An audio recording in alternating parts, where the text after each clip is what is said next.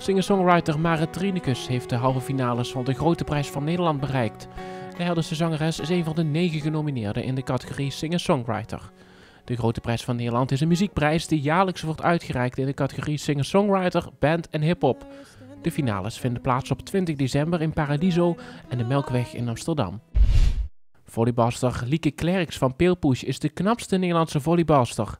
De 23-jarige Klerks kreeg de meeste stemmen van de lezers van de volleybalkrant en was favoriet bij de jury. Na het combineren van de punten bleek Klerks met minimaal verschil Veronique Kort te zijn voorgebleven, waardoor zij zich de knapste mag noemen.